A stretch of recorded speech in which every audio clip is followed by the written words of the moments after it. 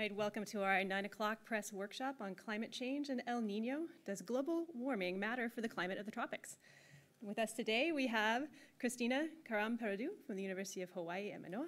We have Jessica Tierney from the University of Arizona, Pedro DiNezio from the University of Texas at Austin, and Mark Cane from the Earth Institute at Columbia University. I'm going to turn it over to Christina.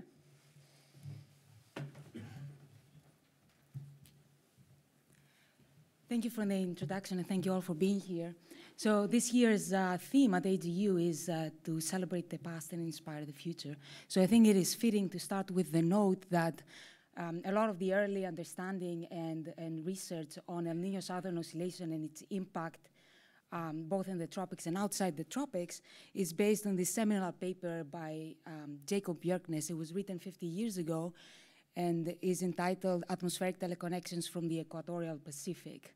And as the title reveals, Bjerknes really made the case for um, wh when we have temperature anomalies, warm temperatures in the tropical Pacific, that affects weather and climate um, outside of the tropics. And also he made the case that this is a coupled atmosphere-ocean phenomenon, meaning that you need the ocean and the atmosphere processes to interact um, in uh, certain ways to give you the development of an El Nino event.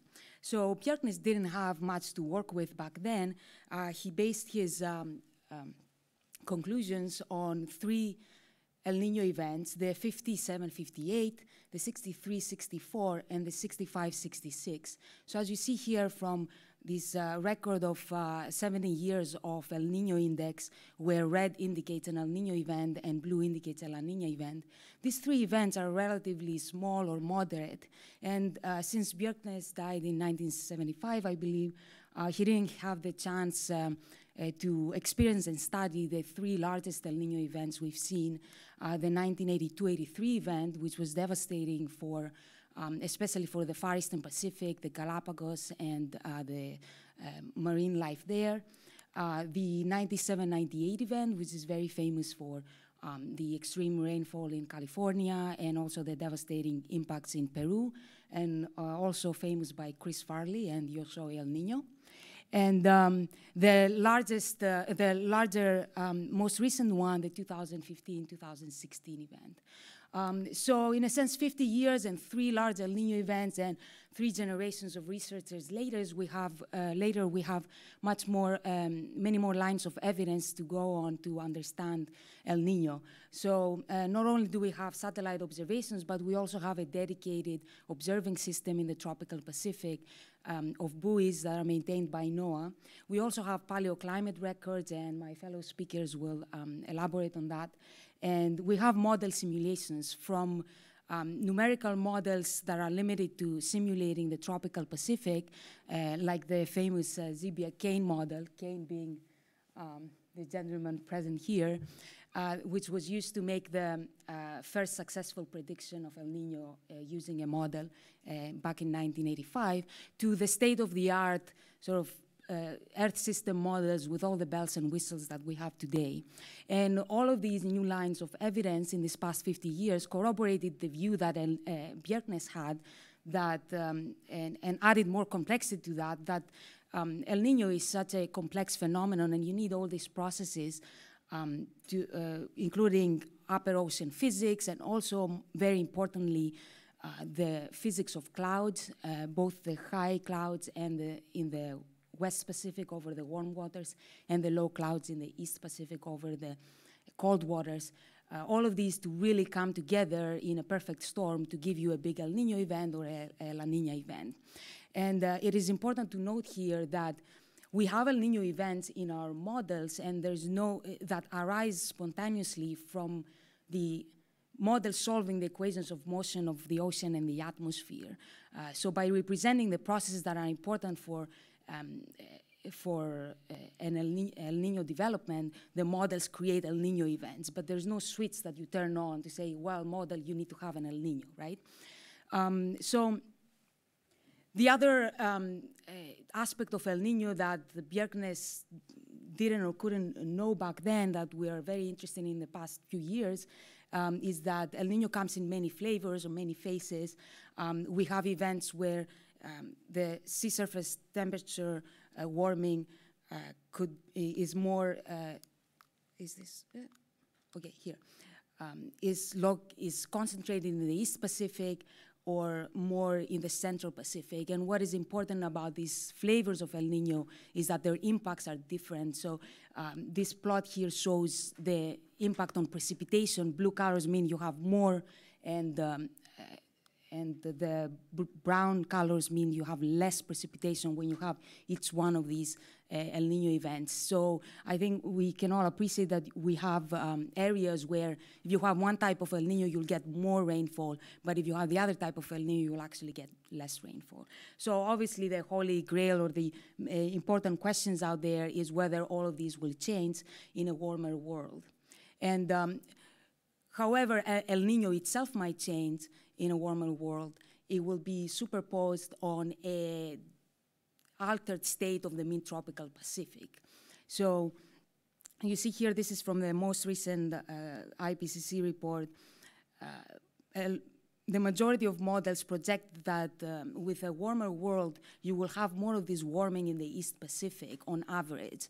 And this pattern looks a little bit like what we uh, see during an El Nino event. Um, so the question um, there is whether the way that the mean climate changes in the Pacific is related to how El Nino itself is changing, whether you see more El Nino events or less El Nino events, stronger or, or weaker. And um, this is a very complex question to answer, but I believe we are making progress. Um, if you look at this, um, the pattern of whether you are more El Nino-like or La Nina-like um, as you respond to greenhouse gas warming. This is for a high emission scenario from the most recent uh, generation of models. Uh, versus the percentage of change that you can see in El Nino activity, then you see there's a relationship there that becomes more consistent when you're looking um, at the models that do a little bit better in uh, representing basic El Nino characteristics, including that uh, those El Nino flavors that I was um, just talking about. Um, so, and the other important um, aspect of how models are simulating El Nino is that uh, their skill in doing that is a good indicator of how they're generally performing in simulating processes like clouds, for example, and cloud radiation feedbacks that are important not just for climate change in the tropical Pacific, but also globally. Uh, the good news is that model simulation of the mean tropical Pacific climate and El Nino is improving. Uh, this is a plot that shows the uh, equatorial temperature. Uh, so the middle lines here indicate the tropical Pacific. So you see that going from the previous generation uh, in blue to the next generation of models in red, we come closer and closer to observations in black. Uh, so uh, models are indeed improving. They're improving also in how they simulate uh, El Nino processes. But key challenges remain, of course, and there's a lot of room for even more improvements so that we can um, have uh, more confidence in the future predictions of El Nino. So uh, I think that, um, and this is very important because obviously that gives us more skill and ability to understand the global impacts of El Nino, a schematic of which you see uh, here. Uh, so I think um, hopefully if I, or Bjerknes for that matter, uh, has uh, have convinced you that the tropics rule. Uh, we have uh, organized a session this afternoon um, based exactly on these 50 years since we have had this seminal um, Bjerknes paper. And the session is entitled after the Bjerknes session, so atmospheric teleconnections of the, from the equatorial Pacific at 4 p.m. today. Thank you.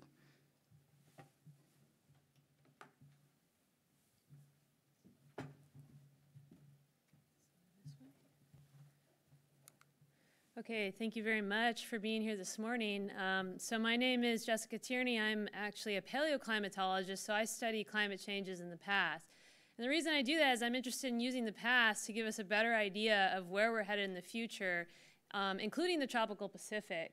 So the main point that I'll present to you today is our recent finding that the Pliocene past, so that refers to a time 3 million years ago, predicts the future of the tropical Pacific. So we actually have a really nice direct analog of where we're headed in the near future by looking back 3 million years ago. So let me explain um, what I mean by that. So first of all, let's just consider the structure of the Central Pacific. So the trade winds are blowing from east to west here, and because of that, the warm water tends to pile up next to Indonesia here, and it has a really technical name. It's called the warm pool. Uh, and on, on, in, in, on the other side of the Pacific here, because the winds are blowing this way, you have cold water coming up. So we have our second technical name, which is the cold tongue. And these are both warm places in the tropics, but you can see from the temperatures there that there's about a 5 degree C difference between the east and the west Pacific. So it's pretty substantial, 8 degrees in Fahrenheit scale. Um, but if we look at the geological evolution of the eastern and western Pacific, we can see that this difference has not always been the same. So here I'm showing you a result from a recent paper that we published in AGU's Geophysical Research Letters this year. It's the evolution of sea surface temperatures in the western Pacific in the red line and the eastern Pacific in the blue line. The x-axis is the age in millions of years. And so if we look here on the right, this is time zero, that is today we see that classical difference between the east and west is five or six degrees. But as we go back in time, these lines come together. And so when we go back to the Pliocene epoch, which is denoted up here at top three million years ago, we see that there's still a difference between the east and the west. There has to be because the trade winds are blowing, but it's, it's much lower. And this is significant because the Pliocene is the last time that CO2 was where we are today, 400 ppm. So that was the last time that we, we are where we are today. So this is basically giving us a signal of what to expect in the future. In this paper, we also went one step further and we actually put together maps of what sea surface temperatures looked like during the Pliocene, that 3 million year time period. So that map is here on the left for you. It's the increase in sea surface temperature relative to a pre-industrial baseline. So we're looking at an anomaly plot here, and similar to some of the figures um, that Christina showed you, we see this classic pattern in the Pliocene of warming in the eastern Pacific here, and also the subtropical warming pattern, very high sea surface temperatures off of California, which is a typical response um, and, associated with this change in the mean state of the tropical Pacific. On the right-hand panel, that's actually a prediction of what the Pacific will look like under a low emission scenario, the RCP 2.6 from the last IPCC AR cycle. And so low emission scenario basically has us holding at 400 ppm, going up to 500 and, and staying there because we have strong mitigation strategies. Nonetheless, we see that the pattern of change in the, in the tropical Pacific, it really looks a lot like the Pliocene, right? So this is the key message, is that the Pliocene is the key to our future. It's sort of confirming that the, this pattern that's produced by models is realistic because we actually see it in the geological record. And so this is important for a couple of reasons. The first is there's actually been an ongoing debate in the scientific community about whether the average conditions in the tropical Pacific will resemble an El Nino, what we call an El Nino-like state, or conversely, a La Nina-like state. And there's reasons to expect both, and, and different models do slightly different things. But the Pliocene is, it enables us to rule out the hypothesis that this is actually a feasible response to high CO2, because the Pliocene is telling us that this is what we should expect. And this is, of course, as Christina mentioned, really important for rainfall patterns around the world. So here we're looking at projections and, and mean annual precipitation under the low emission scenario, RCP 2.6, sort of maintaining at present day CO2 versus the high emission scenario, RCP 8.5, where we continue to burn fossil fuels. And, and so you can see, in, I sort of circled the regions where we expect responses in rainfall associated with the change in the tropical Pacific, the, that El Nino-like pattern. So we see more rainfall all along the equator in the eastern Pacific going into Peru, also, an area that's affected by the tropical Pacific, even though it's farther away, is the Middle East, right here. And I've also drawn a circle around where we are right now in California and um, sort of southwest United States more generally, because this is a place where we expect um, the mean state of the tropical Pacific to impact rainfall. We actually expect it to increase the rainfall here. But you can see from these projections that it's not clear how California will fare under higher CO2. It's right on the edge between a blue, the sort of blue-green, and the brown color. Um, But uh, again, we can go back into the past and get some clues. So, where I live in, in western Arizona, we actually see all over the place evidence of large lakes during the Pliocene, that three million year time period that I'm talking about. So this is an example of an ancient lake basin in western Arizona. If you've been to Arizona, you know it's a very dry place. We don't have permanent lake basins down there today. There are quite a few of them during the Pliocene. So that is a clue that we're now investigating to follow up on why was the southwest US actually wetter during the Pliocene. So some related talks that are happening today, or today and, oh, sorry, tomorrow and Thursday would be my own talk. It's sort of about um, the, the last glacial maximum, we can, what we can learn about that. But in particular, um, Dr. Tripti Bhattacharya will be giving a talk about that question about the Pliocene and why it might be wetter in the southwest US.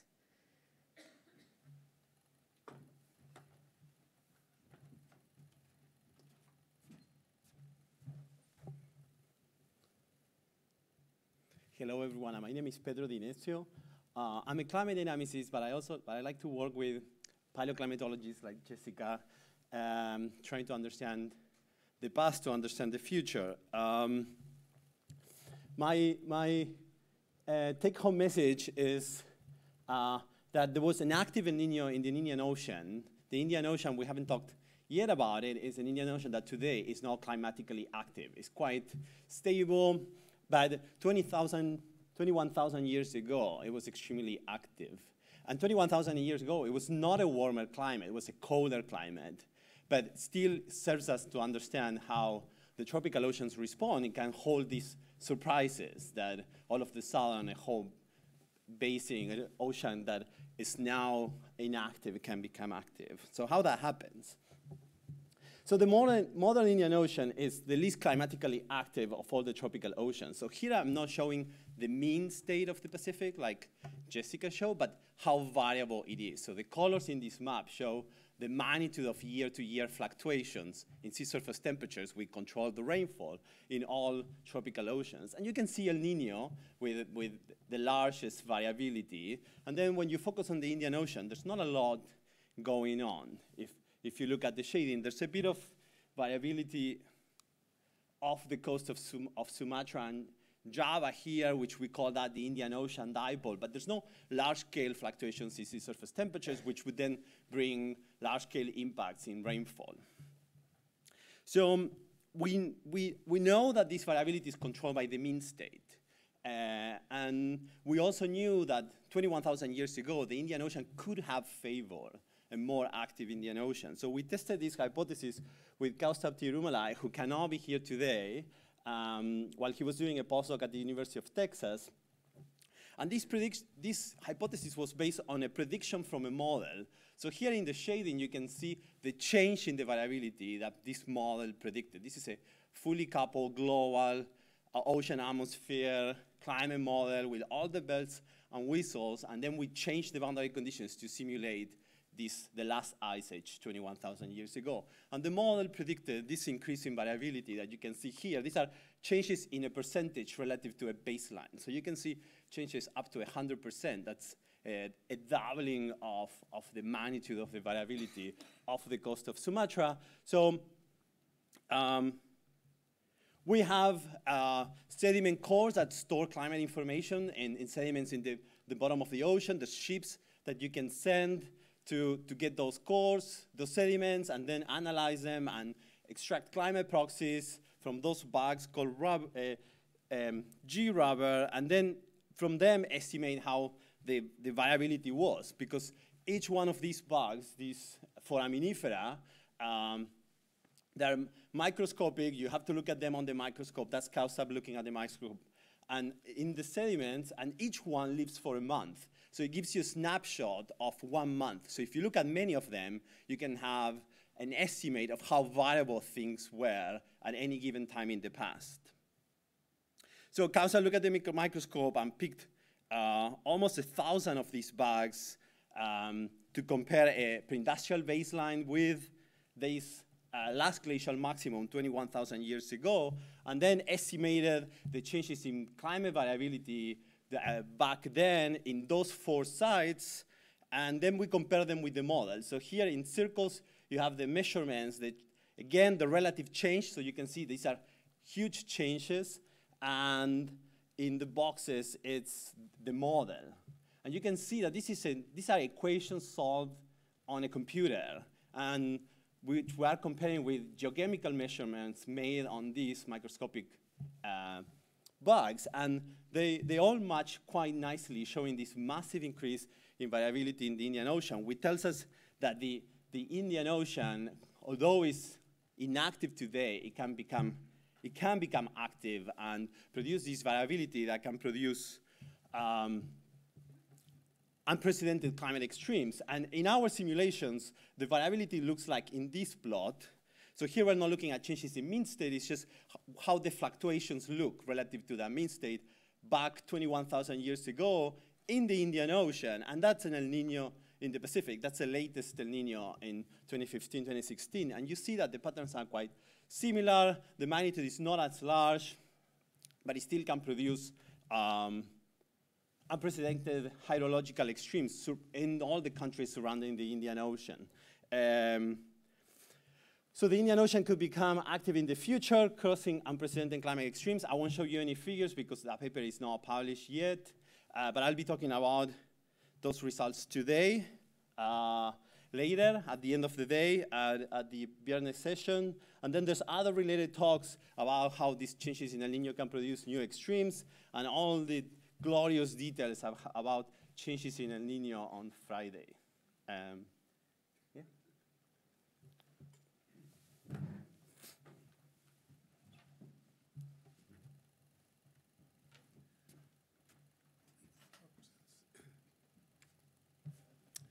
Um, I don't have any slides, which is always a challenge for people like me because we, we're used to using them as a crutch. My, the three younger people who've spoken ahead of me have given you a good overview of uh, a great deal of what we've learned in the 50 years since Bjerknes wrote this landmark paper. In fact, most of what they talked about is probably uh, comes out of the last decade or perhaps a little more, which is is really amazing. The the level of progress is is in many ways quite astonishing. One of the uh, things I'll emphasize first is the work on the Pliocene that Je Jessica talked about. Um, there isn't a lot of support for research on the Pliocene compared to what I think there should be, given that this is indeed the last time the planet temperatures, CO2 levels, looked like what they're about to look like. And uh, you would think there would be a more, more urgency in learning more about what the Earth was exactly like then. And as Jessica said, the message seems to be in line with most, but not all models, but most, that um, things will get to a more El Nino like state, and one of the implications of that would be the expectation that uh, California and Southwest, like Arizona, would get wetter. Um, I'll come back to that in a second. Now, as Christina emphasized, um, the, well, she didn't emphasize this, but the first thing I want to say is we're not really sure what will happen to El Nino in, in the years ahead. But the more solid expectation is that you add El Nino to the warming that is certain, okay, and these kind of extreme events get worse. That's true of many other sorts of extreme events, uh, like uh, tropical cyclones, hurricanes.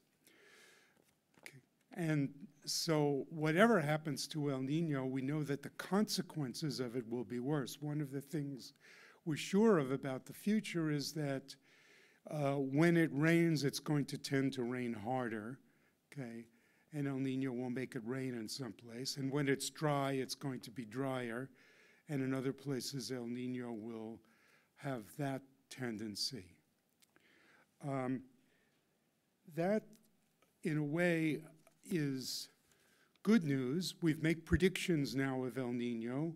we have learned something, particularly at an institution I helped to uh, found, the International Research Institute for Climate and Society, has learned a great deal about how to use these predictions to help people in places in Africa in Asia and so on, the kind of um, uh, developing world countries where it's not a given that, say, some, uh, some bright young commodities broker or hedge fund manager or something will jump on whatever information you have to offer.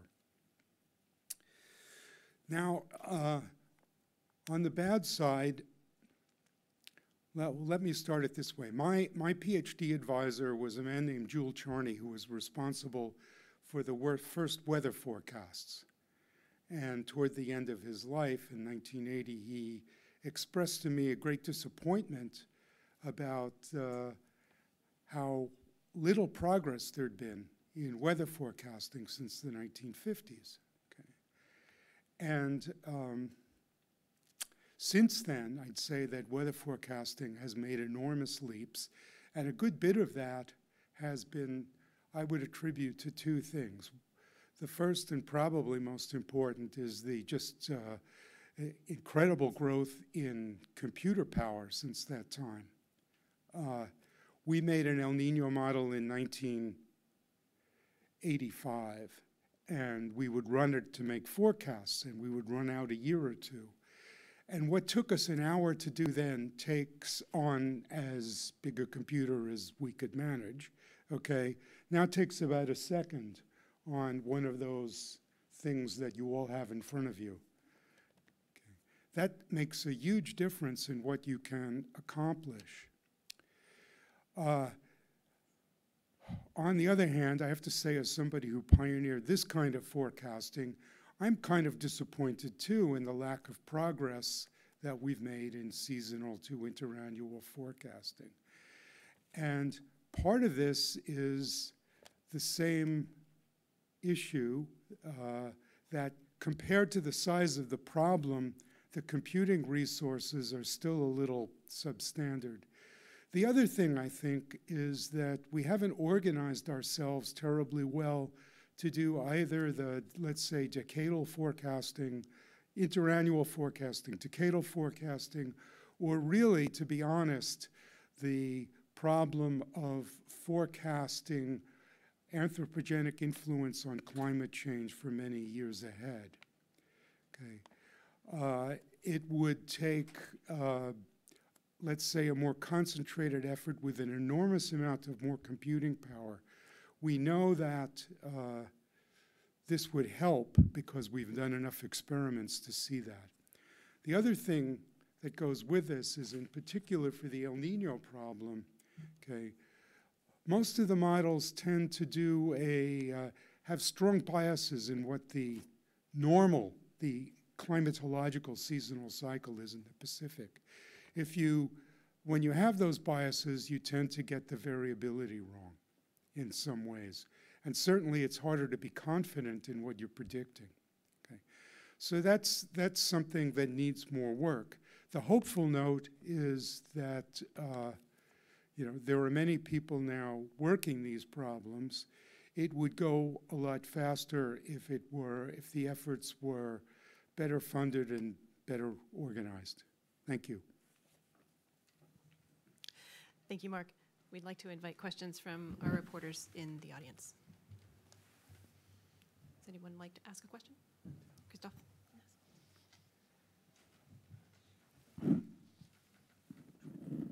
Christoph Seidler, Der Spiegel in Germany. Um, just a very general level question, but um, you, have uh, all briefly touched upon this, uh, uh, but still um, uh, uh, maybe we can have uh, an, an, extract in layman's terms. So, um, what will the future bring for for El Nino? So, of course, we, we've, we've heard a bit, but can you condense it a little bit for me? I can, I can start. I think um, what most of us have mentioned is that um, there is a range of possible outcomes coming from the models. There is model disagreement that depends to a big extent on how models are representing mean climate or the seasonal climate that uh, Mark just uh, mentioned. So uh, it is still uncertain. There's very, um, I have in my talk a review paper that um, is is, a good reference for um, the most recent um, information on this. There's um, papers recently that show that if you segregate the models um, based on how well they represent some of the aspects uh, of El Nino, then those models tend to agree more that there will be more frequent, strong El Nino events. But uh, this is still very much of an open question, and um, there is a lot of uncertainty there. Um, I don't know. Yeah, I just want to. So there's two. There's two aspects here. One is the average state of the tropical Pacific, and the other is El Nino, actually up and down, like from year to year. And so, um, and both of those things are are still in question. But uh, so what I emphasized was that the average state uh, looks like it could become more El Nino-like just based on what we see in the past during times of high CO2. And quite a few climate models predict that. Um, they did in the in the last IPCC assessment, and um, and the new results that are just coming out suggest a similar thing. So, um, so it's it's not for sure, but that's so we sort of understand that the mean, the average condition looks more like an El Nino event, if you will. In terms of El Nino itself, year to year, that's a little bit more scattered. And so, uh, what Christina shows, there's a tendency for models to predict stronger El Nino. Uh, but on the other hand, if I've got this right, you know, that some of the best models, the ones that simulate El Nino correctly, actually have a more stable response. So, you know, El Nino, I think it's still question, it's still out there whether uh, individual El Nino events will get more extreme. and we expect in a warmer climate that we have more extreme rainfall and so on. But as far as El Nino goes, um, that's like a, still a top question uh, in our research community. Yeah, um, but uh, as Mark emphasized, the impact are certain to become stronger because you're in a warmer atmosphere. So every time there's an El Nino causing a deluge, it will just rain more. And we, we know that will happen because it's controlled by atmospheric thermodynamics. So, I mean, I like to see this problem as a risk assessment. If there's, uh, we will never know if El Nino got stronger. No one will be here, and it's a very hard statistical problem. But what if in five years from now there's another big El Nino? We had the strongest El Ninos on record in the last 30 years. So that's suggesting something, but it's hard to tell what's what caused them. But if, what if we have another one? So how do you attribute whether that event was made, worse uh, by a changing climate or not? But so I think we cannot rule out that it won't change, but there's there's this risk that that, that if uh, that if a big El Nino happened in, in the next decade, it will have been influenced by changes in climate, and the impacts will still be stronger. And also, the one thing to, to keep in mind that the global impacts, and those are the teleconnections that Bjerknes talked in the title of the paper, that's how the impacts are propagated from the equatorial Pacific to everywhere in the world. Those teleconnections can be shifted as the eastern side of the Pacific warms up, then the teleconnections also move to the east. So in here in California, you get all that rain when there's an El Nino. On average, not every El Nino brings more rain, but on average, but that average pattern can also shift to the east. So sometimes it, the rain can move also with, even though El Nino doesn't become stronger. So I think it's uh, pointing to changes, and, and when you shift the pattern, you can go from being impacted one way, and you're used to that, and then you're impacted in a different way, and you're not used to that. But the, I think probably Mark will say that too, is that we can predict El Nino. So even if the impacts get stronger, we can, we can like six months, maybe eight months in advance, we, we know when El Nino is coming, and probably every El Nino will be having worse impacts every, every time. But we have those months that can help societies prepare. So the quick summary is uh, the impacts of El Nino will get worse. Okay. Uh, Exactly what happens to El Nino is hard to say, and not clear it matters a lot in the sense that uh, even you know before we started really messing up the atmosphere. The variability in how El Nino occurred was quite extreme, and um, that might continue. It's true we've had a lot of strong El Ninos, uh, the, maybe the strongest in recent years. On the other hand, at the end of the 19th century, there were also very many strong El Ninos, and the most destructive El Nino in the last few hundred years was in 1877. Okay, probably tens of millions of people died in famines in India, China, Ethiopia, Northeast Brazil, and other places. So uh, this, this has always happened, but it will, on average, be getting worse. Th- Another thing I could say about, is, just to go back to what we don't know, is I've been involved in some work that says, um, well, as you know, anybody who lives in California certainly knows, it's tended to be dry in recent years, and the tropical Pacific has not yet gone into the state we expect of looking more El Nino like. It looks more the other way, which is what goes with dry in California. Okay. And we've done some work which suggests to us that this is highly unlikely to be due to some random internal variability. That is, it seems far more likely to be some sort of at least transient response to the way we've mucked up the atmosphere already. Okay. But our models aren't getting this. So that's kind of a, a problem for us. In other words, yes, you can worry about El Nino in the future, but we could also start by asking why aren't we doing a better job on now? Because I'm sure people in California would like to know whether in the next two, three, five, ten years it's likely to rain more or not.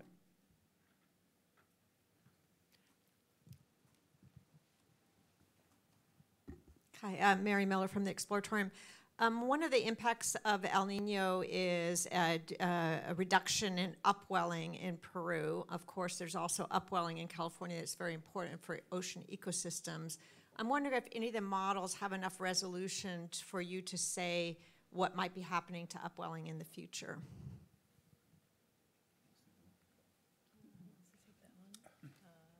Uh, yeah. Uh, no, we, there's ways to know because upwelling is still, even though it happens on the coasts and it's, you think it's small scale, but it's controlled by winds. And, and in the Pacific, everything is coupled. It was also in Bjerknes' paper. I mean, everything was in Bjerknes' paper. If you read one sentence, it was just like the seed of everything we, we've studied over the decades. But um, so these patterns, like the one that Jessica mentioned, when the when as the planet warms up, the eastern side of the Pacific warms up faster or more, that weakens the trade winds. So it will weaken your upwelling. And, and that's controlled by, we, we know that very well. It's not uncertain, it's just mechanics, it's Newton's laws. And, and so on, on the equator, if that pattern emerges, upwelling is expected to weaken following the trade winds that are controlled by, by that contrasting warming between one side and the opposite side of the basin because air on the equator likes to flow from colder to warm. Um, then if you focus on, on away from the equator, because Peru is away from the equator, th- there's other fact, factors that are mattering, and there's other wind patterns that will control the upwelling there. Same thing in, in, in California.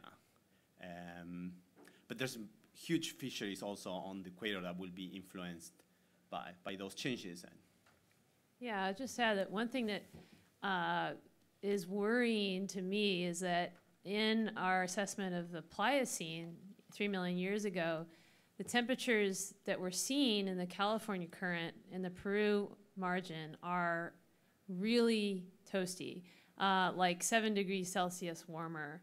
And we have quite a few data points off of California in particular. So that result keeps coming up. Um, and actually, we see it elsewhere, like off of South Africa and the Benguela upwelling. So this worries me because the magnitude that we're seeing in the past is, to me, extremely large. Uh, so assuming there isn't something wrong with our with our data, um, then we need to explain that, whether that's realistic or not, and whether that has to do with uh, you know, the upwelling zones having this really strong response to high CO2. Maybe it involves cloud feedbacks potentially. Uh, so that's something that, that we're definitely looking into. We're, we're, uh, as scientists, we're always very cautious, you know, so we don't like to say anything unless we're pretty certain. But if you were doing it from, let's say, a risk assessment point of view, uh, then you would have to say that it's highly likely that the upwelling, uh, you'll go into a more El Nino-like pattern. The upwelling will be diminished. The ecosystems will be disrupted. Um, some of them perhaps will succeed in moving poleward. Other ones um, will not. That's in, you know, the more likely outcome, although from, you know, uh, we using the scientific standard of certainty, we wouldn't say that's, we're terribly confident of that. If you're worried from a risk point of view, you would say, yeah, this is a huge risk. You shouldn't uh, be exposing yourself to it or the planet to it.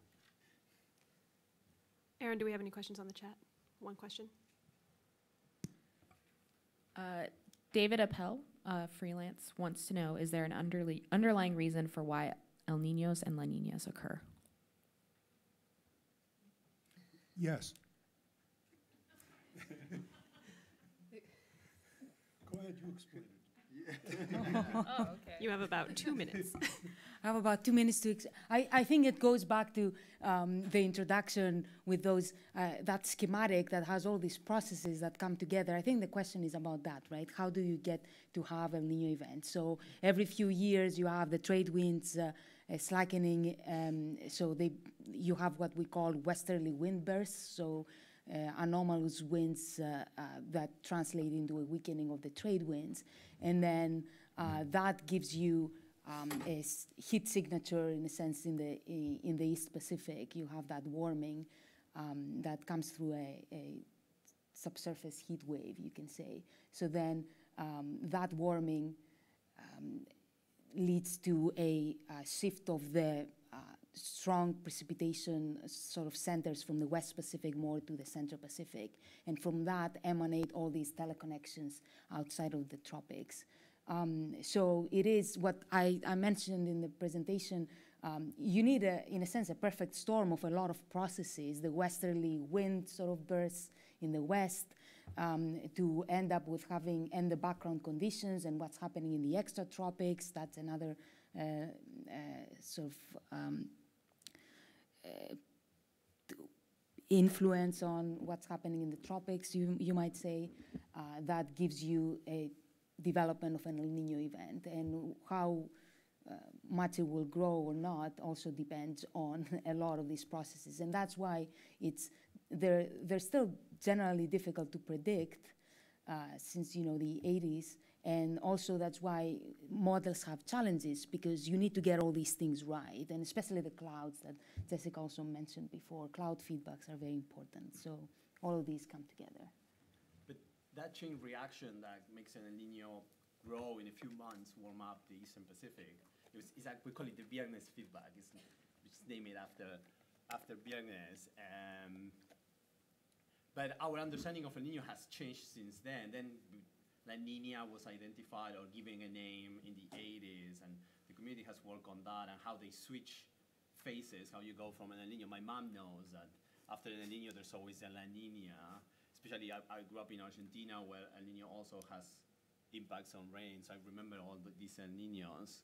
Um, so you always know that after El Nino comes La Nina, but what we also discovered in the, in the last 10 years, or not discover, but recognize that after La Nina, El Nino doesn't come. So it takes a, a few years until another big El Nino can happen. And predicting that interval is what is challenging, when the next big El Nino will happen.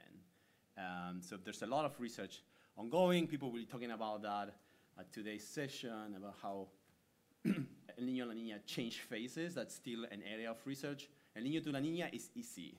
Uh, La Nina to El Nino is really hard. But once El Nino is ongoing, we know that after six months, it's gonna peak. Usually around Christmas, that's why it's called El Nino. So we know all those things we know for sure. Um, right, many thanks to our panel. You can reach them one-on-one if you have more questions. We resume at 10 with to Etna, new results from two classic volcanoes.